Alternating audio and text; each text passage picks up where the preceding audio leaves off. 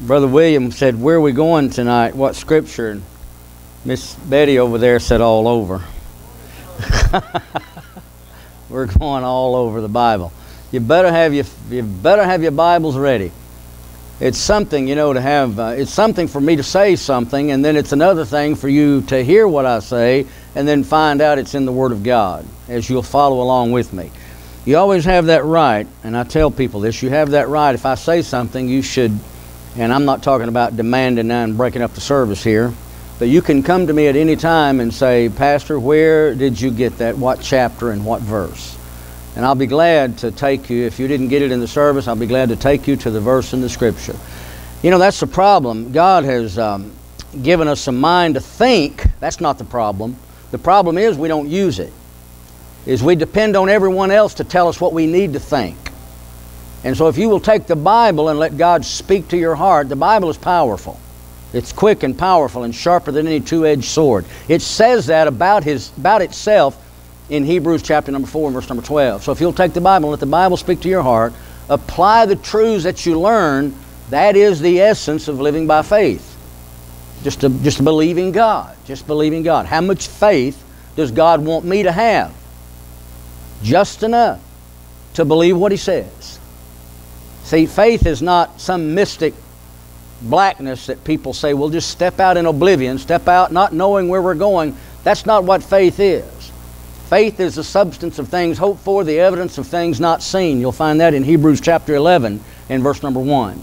So we step out on substance. The substance is the Bible. We step out on substance. We have an undergirder, we have a support, we have a foundation.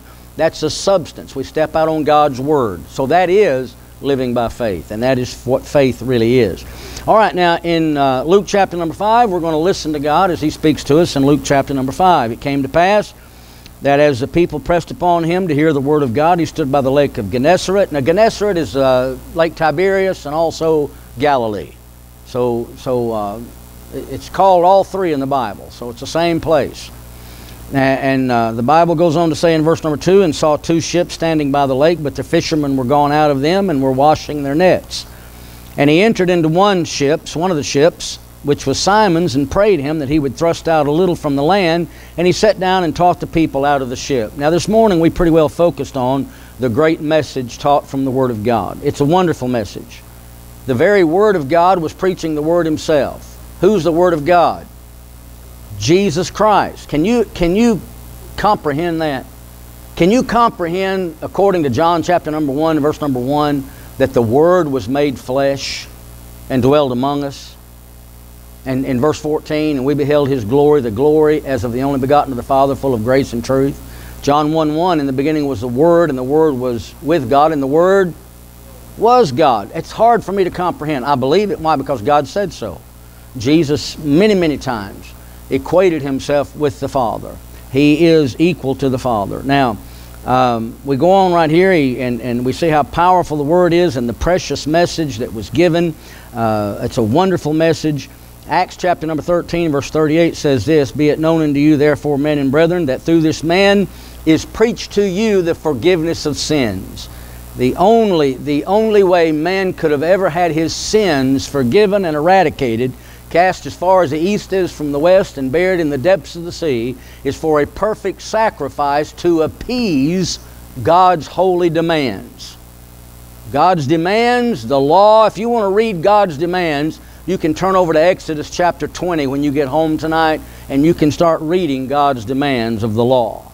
All right, now the Bible gives us His demands and says there's no, there's no exception. The law does not say try, the law says do. So if you break one of the laws, which are 400 and some odd laws, distinct laws in the Old Testament, if you break one of the laws, James says that you're guilty of all of them if you just break one. I don't think anyone here tonight, I, I, I don't think so. If you think this, don't embarrass yourself. Uh, but I really don't think that anyone here will say, I have never sinned. I have never sinned. I've never missed the mark of God. I've always been perfect, right on target. Now, you see, that's why Jesus had to die, and that's the only sacrifice that God could accept. So God became a man. How did he do that? Born of a virgin. the Virgin Mary, the Holy Spirit of uh, God overshadowed Mary. Within Mary's womb, planted the seed of God. Jesus was born of a virgin. Jesus did not have a sin nature. And so he lived a sinless, perfect, holy life, never sinned one time, never thought of a sin. He went to Calvary, and there God poured out his wrath on Christ for you. For you. And he was buried and he rose again the third day. Now that's salvation. That's what Christ did for you. That's redemption. He reconciled the world. He made peace with God through his blood that he shed. That's salvation. Now, if you want to get in on it, you need to believe it. You say, Well, I'm not sure the Bible's true. Keep reading it anyway. Read it anyway. Listen to it anyway. The very Bible, you read other books, the Bible itself says of itself that it is the Word of God, it is direction, it is answers from God. Every trial, every situation, it is the Word of God. And the very Bible itself said that if you need the faith to believe it, you can get it by reading it. How do I know that? Romans 10 17. So there it is on the wall back there. So then faith cometh by hearing, and hearing by the Word of God. By the Word of God. So I read the Word of God, and God, and, and I find out, I find out that over 1,500 years and some 60 uh, plus authors, they, they wrote this book without one contradiction, and so there had to be one directing mind. All right, that got me started. One directing mind, no contradiction, and here it is. They're in perfect harmony. All of the writers are in perfect harmony with one another. It had to be God. Man could not produce a work like this. A fallen man, a bad man, didn't write it because he wouldn't tell on himself. All through the Bible, man's telling on himself. David, Romans 3, and others. It wasn't a good man that wrote it because he wouldn't lie and said he did. So it had to be God. So here it is. Now, if it's God's Word, I'm going to listen to it. I'm going to find out what He says. I want to go to heaven. I don't want to play around. I don't want to think I'm going to heaven. I want to know that I'm going to heaven. All right, now here we go. Uh, Jesus teaching the Word. The very Word is teaching the Word. He taught the people out of the ship there in verse number 3. Thrust out a little. Now, I said I was going to make an application this morning. We thrust out a little. We take little by little. We learn, we learn one truth at a time one truth at a time. There is no way that if you're really not familiar with the Bible, no way anybody's going to dump the whole Bible on you in one setting. So, what does that tell me? That tells me that you need to keep coming, you need to keep reading, you need to keep listening, you need to keep studying till you get it, till you get the truth. Sometimes, sometimes I use maybe uh, analogies I shouldn't, but I think of a picture puzzle, a thousand piece puzzle. Sometimes it's a little difficult to put a thousand piece puzzle together. But when you get that last piece put in, what do you do? I see it. I, I see it. There it is. There's all of it. And so when we finally see these truths that the Bible brings out and they all come together, we say, I see what Christ has done. I see that He's the only way to heaven. I am the way, the truth, and the life. No man cometh unto me but by no man cometh unto the Father but by me, saith the Lord Jesus Christ, there in John chapter 14, verse 6. So we know that's true. We know we come to Christ. And uh, of course, He made a way for us to get to God. He sure did. Now, when I said little by little, the, Matthew, uh, the uh, Bible talks about line upon line, precept upon precept, here a little, there a little, back in Isaiah. But um, I want to I want to get over here to Romans chapter number one that I used this morning. Romans chapter number 1. And the Bible says this in verse 16 and 17 uh, For I am not ashamed of the gospel of Christ, for it is a power of God unto salvation to everyone that believeth, to the Jew first and also to the Greek. Now, verse 17 is what I wanted to get at right here. For therein, for within the gospel, therein, within the gospel, is the righteousness of God revealed. And it says, from faith to faith. So if we preach the gospel, correctly, it's going to reveal Jesus Christ.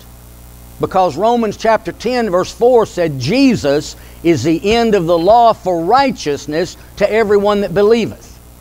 All right, so I'm going to I'm going to find out about Christ. It's going to uh, it's going to the gospel is going to the, the word of God is going to reveal Christ. And the Bible says right here in verse number 17, from faith to faith. That means I'm going to get one truth at a time one truth at a time. And you put all of those together and you see that there is no way that you could ever die and go to hell based on what Jesus Christ has done for you. Already done, not to be done, but already has done. Amen. So you need to believe on Christ. All right, so we thrust out a little, we get a little bit of the Word of God. And uh, the Bible said in verse 4 Now, when he had left speaking, he said to Simon, Launch out into the deep and let down your nets for a drought. So, so we're going a little further now. Now, we know the story. We know the story is a true story. Uh, and it's, uh, and of course, the lessons are many, the applications are many. But the application here I want to bring out in verse number 5 And Simon answering said unto him, Master, we have toiled all the night and have taken nothing. Nevertheless, at thy word I will let down the net. Now, think about this. If Peter had not obeyed what he thought was an insignificant command, he could have never participated in a miracle. An insig- it's seeming so insignificant because Peter uh, said, we've, we've did this all night, and, and, and Lord, I'm not going to be disrespectful to you, but we've done this all night. I'm a fisherman. I've been fishing now for, for 30 years, and uh, I've got this thing down pat.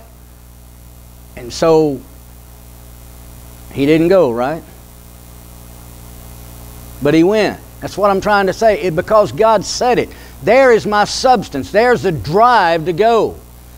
He said, Nevertheless, at thy word. So he acted by faith, and what happened? He brought in, it broke, he broke the net, had a drought of fishes come in. All right, now we're on this matter of continuing, a little by little by little, thrust out a little, truth revealed to those who seek. Truth revealed to those who seek. And this is where we're going to uh, walk just a little bit in the Bible. We're going to walk around a little bit in the Bible. In John chapter number 1, verse number 9. Tell me what that says. John chapter number 1, verse number 9. We've used it quite a bit. Jesus Christ, He lighteth every man that comes into the world. Every man. Not just some men, but every man. Jesus gives every man light.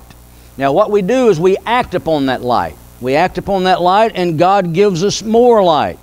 Uh, Jeremiah chapter number 29, the verse that we quote a lot. Jeremiah chapter number 29, verse number 13. And ye shall seek me and find me when you shall search for me with all your heart. When you get serious with God, God is going to get serious with you.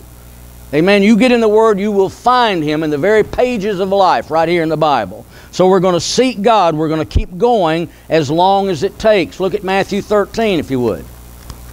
Matthew chapter number 13.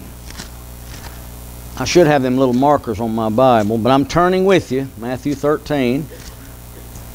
Matthew chapter number 13, look at verse number 23.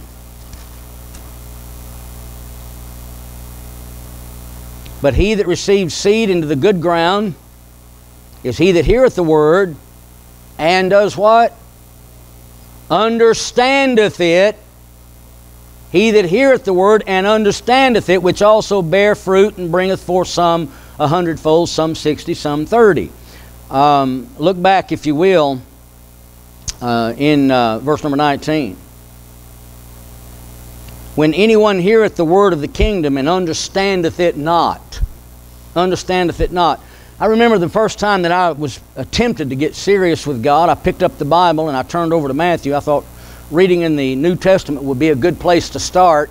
So I opened my Bible and turned to Matthew, and it just seemed like a bunch of gibberish.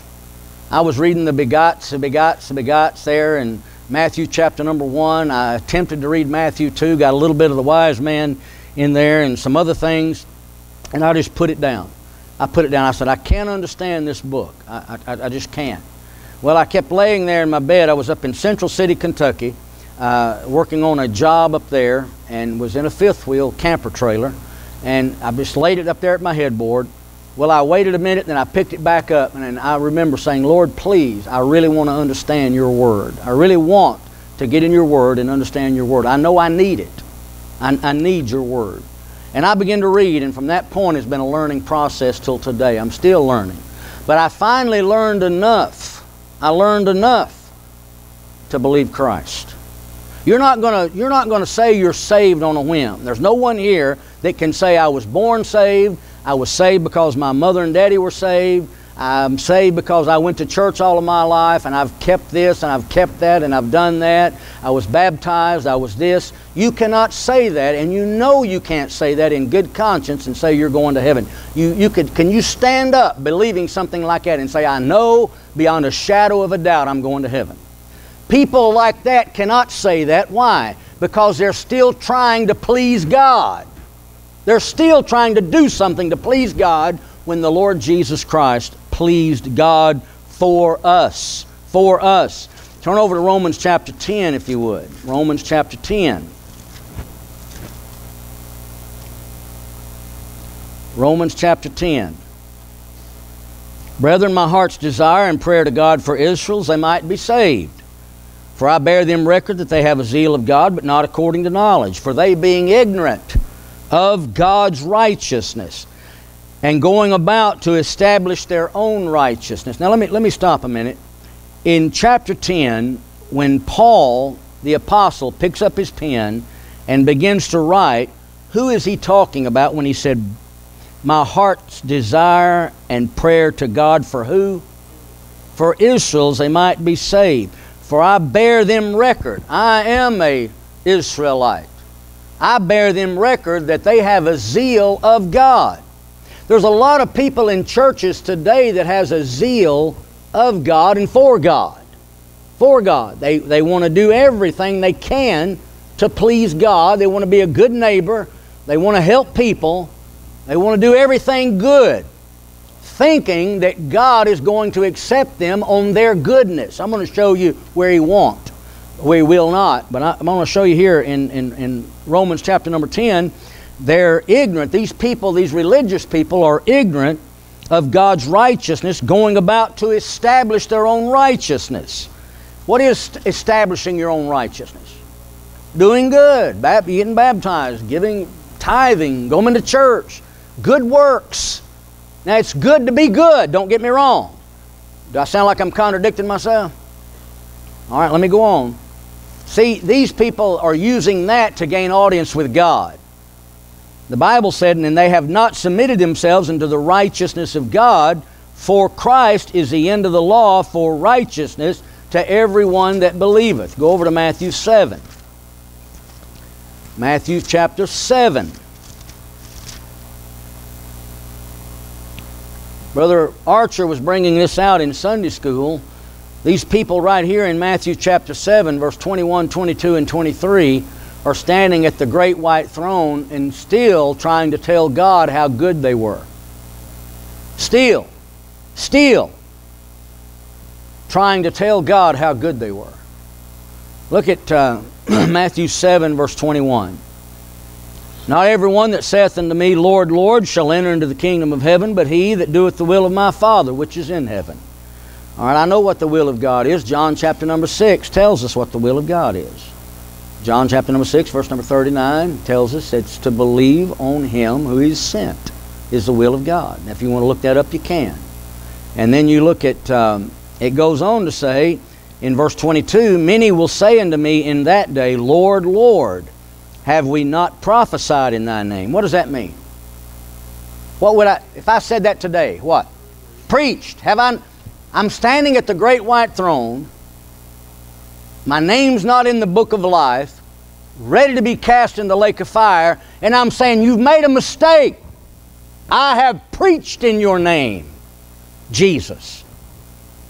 And then look at this. And in thy name, I've cast out devils.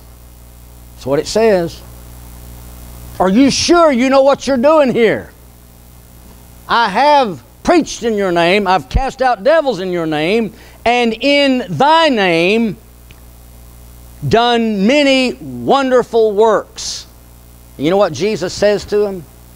Says to those that are standing at the great white throne?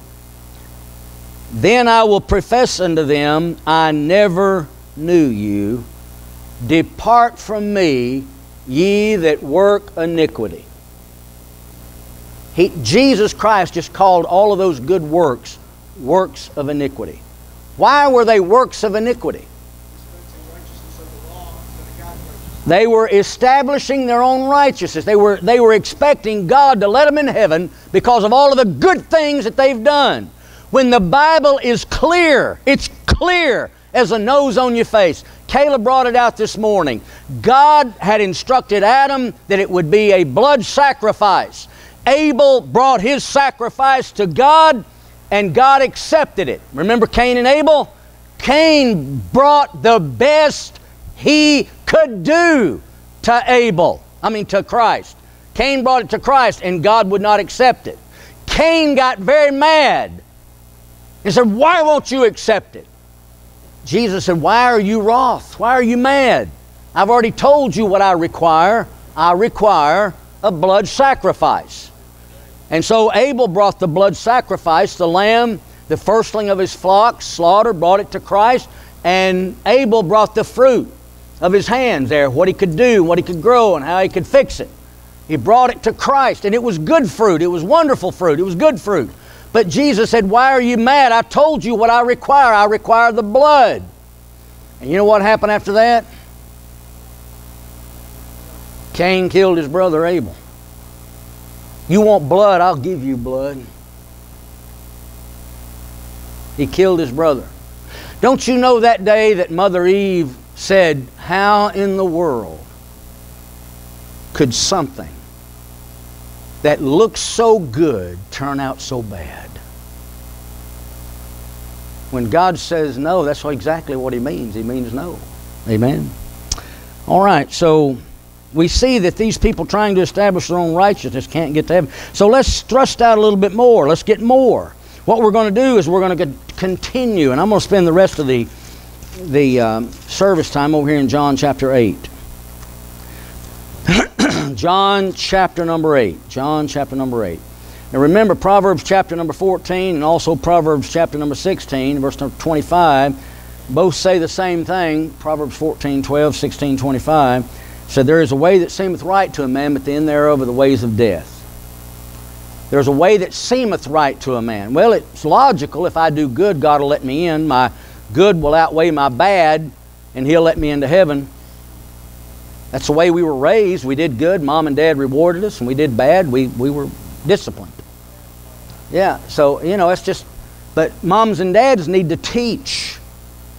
Mom and dad needs to teach the truth. I don't know what was said, I missed it. Oh, Santa Claus. That's why I missed it. Yeah, mom and dad teach Santa Claus. You know, you're good, you're going to get. Yeah. Good little boys, you're going to get this, and good little girls, you're going to get that. If you're not, you've been naughty, you know, okay, all right. That's the way we were raised. That's just the way we were raised, you know. I mean, the biggest part of the world was raised that way, the United States anyway. And so we expect we do good, we'll go to heaven. But the Bible says that's not, that's not what's going to get you to heaven. No, it's the blood of Christ. So we need to, we need to keep on, keep on reading and searching till we find out exactly who He is and what He's done for us. All right, now in John chapter number 8, are you there? John chapter number 8. I'm going to go quickly right here in verse number, verse number 12 through verse number 20. Jesus Christ claimed to be the light of the world. John chapter 8, verse 12 through verse 20, Jesus Christ claimed to be the light of the world. Verse 12, I am the light of the world. He that followeth me shall not walk in darkness, but shall, but shall have the light of life. So he claimed to be the light of the world. In verse number 21, 22, and 23, Jesus claimed to have a heavenly origin. He said, I'm the light. You accept me, you won't walk in darkness. He, he claimed to be God. He claimed to have a heavenly origin. If you'll notice in verse 21, then said Jesus again unto them, I go my way, and you shall seek me, and you shall die, and shall die in your sins. Uh, whither I go, you cannot come. Then said the Jews, Will he kill himself, because he saith, Whither I go, you cannot come? And he said unto them, Ye are from beneath, I am from above. Ye are of this world, I am of not of this world. Pretty clear, if you ask me. He had heavenly origin. Every time, if you'll read the book of John, when the Lord Jesus Christ speak, he brings out at least three points. I've said it over. Write it down. You'll find it if you, if you look for it. Heaven's my home, heavenly origin.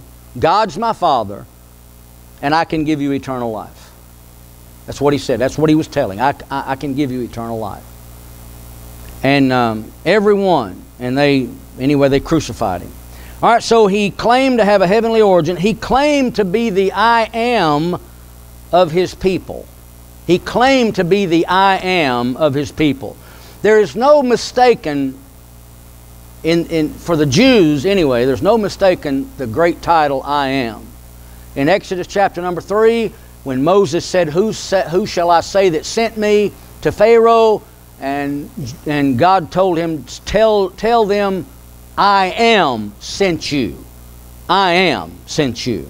All right, so he claimed to be the I am of his people. Verse 24 I said, Therefore unto you that you shall die in your sins, for if ye believe not that I am he, ye shall die in your sins. Then said they unto him, Who art thou?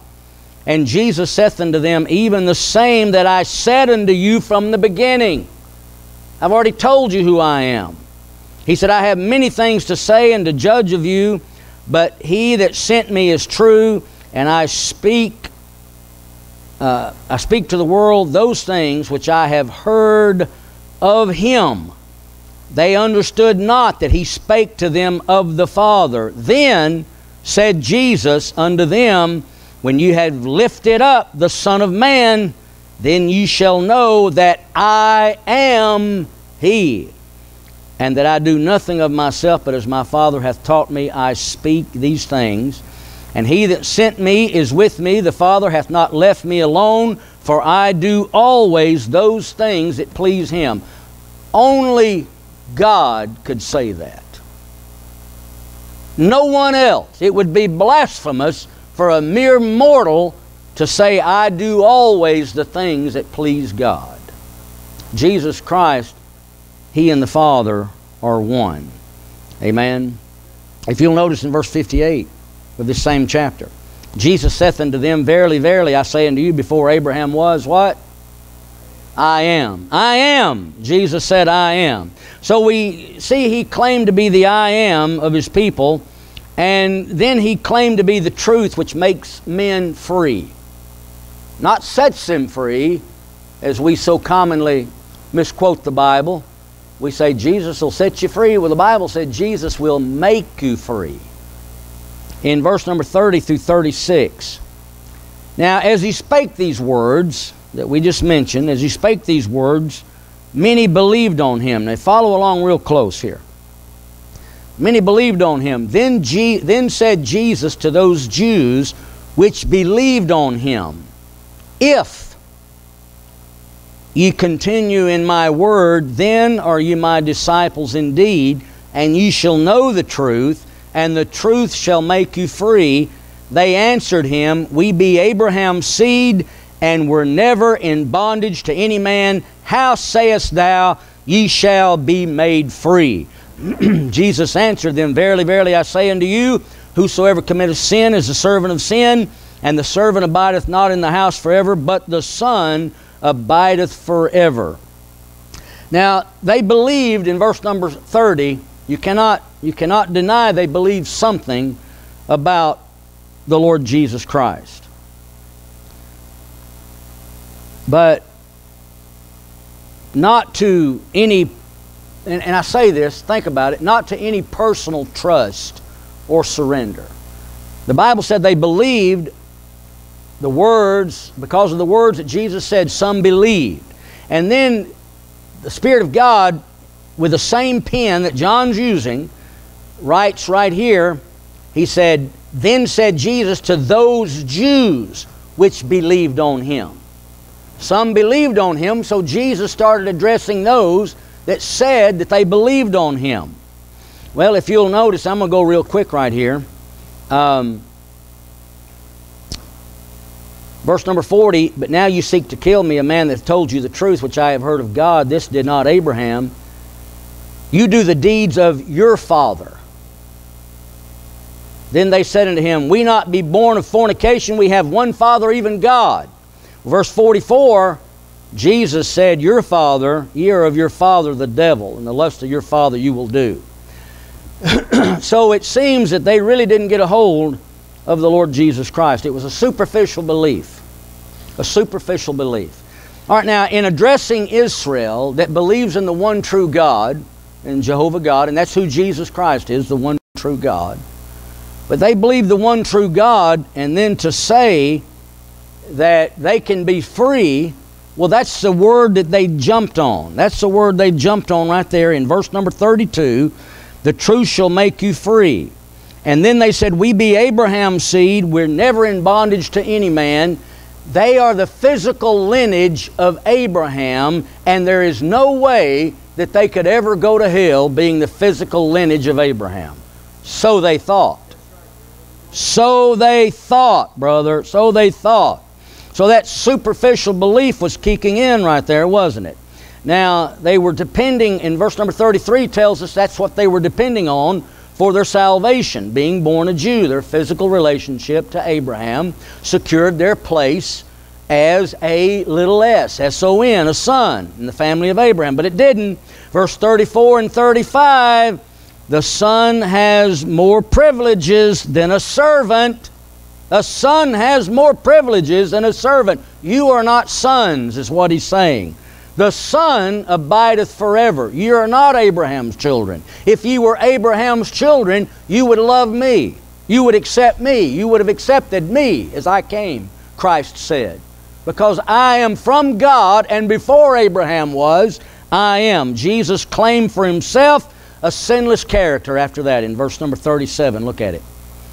I know that ye are Abraham's seed, but you seek to kill me because my word hath no place in you. I speak that which I have seen with my father, and you do that which ye have seen with your father. They answered and said unto him, Abraham is our father. Jesus saith unto them, If ye were Abraham's children, you would do the works of Abraham. But now you seek to kill me, a man that hath told you the truth which I have heard of God. This did not Abraham. Abraham believed me. Genesis 15. Abraham believed God and it was counted to him for righteousness. These people did not believe the Lord Jesus Christ. The Bible said in verse 41, You do the deeds of your father. Then said they to him, We be not born of fornication. We have one Father, even God. Jesus saith unto them, If God were your Father, you would love me, for I proceeded forth and came from God. Neither came I of myself, but he that sent me. Why do ye not understand my speech, even because ye cannot hear my word. You're blinded lest the light of the glorious gospel of Christ, who is the image of God, should shine unto you. He's preaching, but they don't hear. Isaiah said they would do it. Paul preached, but they wouldn't hear. They had a preconceived notion. Now, when I say cast out a little, we accept one truth at a time. Now we're learning some things. And the hardest thing that you're going to have to accept is just maybe just maybe you have it wrong. Just maybe. You say, Preacher, you think you're the only one right? Oh, no, no, no, I don't. But I, I think he's the only one right. I, I, he is. He's the only one right. And there was a time in my life that I had to swallow a whole lot of stuff I'd been taught as a child. I had to get rid of it. Why? Because Christ said, I am God. He claimed himself a sinless character all the way down through verse number 50. And there's no one here among us can make that claim. So he's worthy to be that sacrifice. Jesus claimed power to bestow spiritual life in verse 51 through 55. I can give you eternal life. That was his sermon, three points right there. And then he claimed an eternal existence. Eternal ex- existence. Jesus did not come in Bethlehem's manger. That's, that's not the first place he showed up. He was way back in creation, Colossians 1 14, 15, and 16. He created this, this earth and the stars and the moon and the sun. Jesus is a creator. Jesus, I and my Father are one. And uh, I know him and keep his saying. And the Bible said this in verse 56 your father Abraham rejoiced to see my day, and he saw it and was glad. You mean Abraham saw Messiah was going to take care of the sins of the world? That's what the Bible says. Galatians 3 8, the gospel was preached unto Abraham. And then the Bible said in verse 57 Then said the Jews unto him, Thou art not yet fifty years old, and thou hast seen Abraham. Jesus said unto them, Verily, verily, I say unto you, before Abraham was, I am. You know what happened after that? They took up stones to cast at him. They, were, they was going to kill him. Kill him over the truth's sake. But it wasn't his time. But when it came his time, he willingly, willingly laid down his life for my sin and for your sin. And he let them spit on him. Pilate said, Don't you know what kind of power I have over you? Jesus said to Pilate, You couldn't have any power over me unless God gave it to you. You know, do your worst. They crucified, they scourged him, they beat him, crucified him, and spit on him, mocked him, put a crown of thorns on his head, hoisted him up between heaven and earth. And he said, If I be lifted up, I will draw all men unto myself. And that's what happened. He died there for our sins, placed in a tomb, rose again three days later. Three days and three nights later, he's at the right hand of the Father, making intercession for the saints, and he is, the invitation goes out every day. Every time you hear the word, the invitation goes out. The Holy Spirit is pricking your heart, telling you you need to be saved. Consider this truth. Consider it. Come now, let us reason together. Meditate on it. Go over it in your mind over and over and over. You need to be saved. Amen. All right, I'm through. I'm through. We'll talk some more about that. I'm not through with John 8 yet, but let's stand to our feet.